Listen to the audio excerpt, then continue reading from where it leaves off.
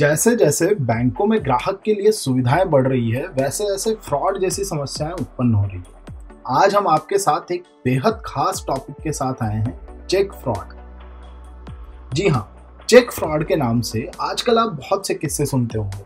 कभी कोई आम व्यक्ति के साथ ये घटना हो जाती है तो कभी कोई व्यापारी इसका शिकार हो जाता है। आज इस वीडियो से हम आपको कुछ ऐसे टिप्स बताएँगे, जिससे आप चेक फ्रॉड से बच सकें। हर एक टिप को सही से फॉलो करें और अपने पैसों को सुरक्षित रखें।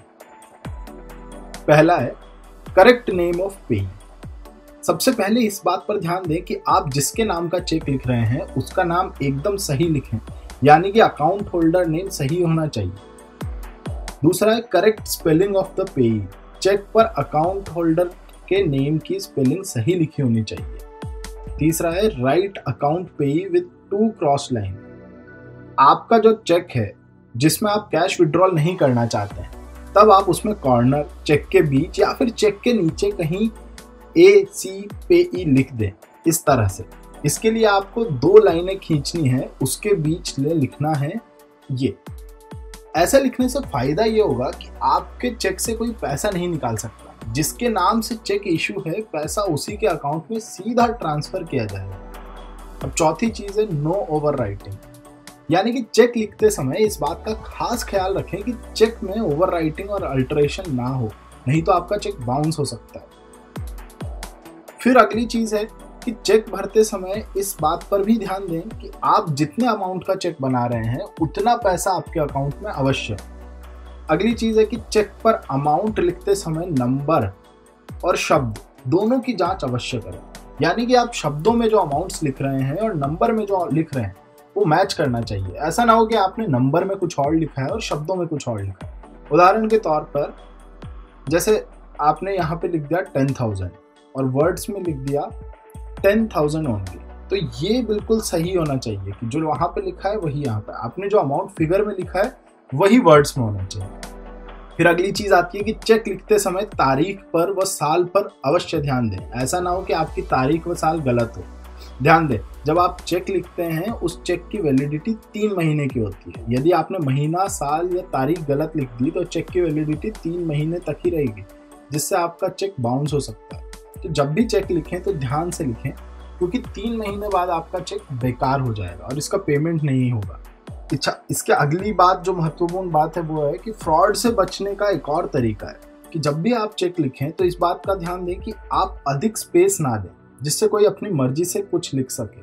चेक लिखते समय आपको इस बात पर ध्यान देना है कि नाम की जगह पर अमाउंट की जगह पर या अन्य जगहों पर अधिक खाली जगह ना छोड़ें। उदाहरण के तौर पर जहाँ नाम खत्म हो, उसके आगे एक लाइन खींच दें। जहाँ अमाउंट खत्म हो, उसके आगे ओनली लिख दें और उसके बाद लाइन भी खींच दें। जहाँ पर आप अमाउंट फिगर में लिख रहे हैं, वहाँ पर भी ध्यान दीजिएगा कि अमाउंट फिगर से पहले कोई स्पेस ना छूटे और बाद में भी लाइन अवश्य हो।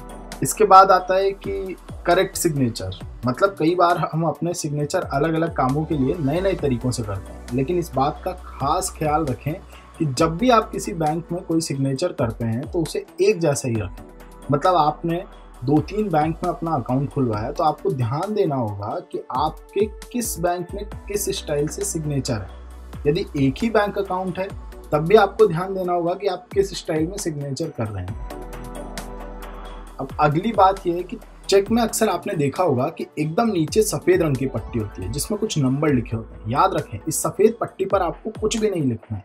ना इसको मोड़ना है, ना फोल्ड करना है, ना ही इस पर किसी प्रकार का कोई सिग्नेचर करना है। इसको एकदम क्लीन रखें, तभी आपका चेक क्लियर हो पाएगा। अगली बात यह है कि यदि आपको चेक से कैश निकालना है तो आपको ए सी पे नहीं लिखना है। यदि आप खुद जा रहे हैं कैश निकालने तो चेक पर अपने नाम की जगह सेल्फ लिख लीजिए।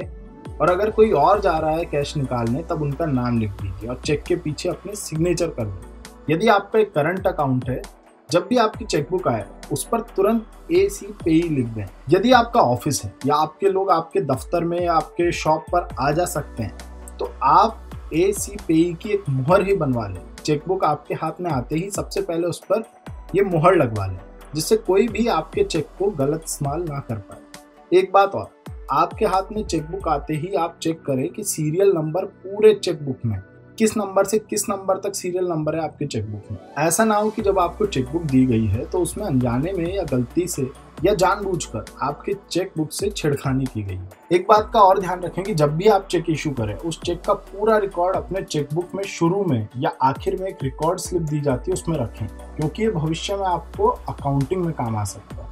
कभी आपको किसी चेक का स्टॉक पेमेंट करना है उसमें भी काम आएगा। इसलिए जब भी कोई चेक लिखें तो चेक बुक की रिकॉर्डर स्लिप में ज़रूर ऐड कर।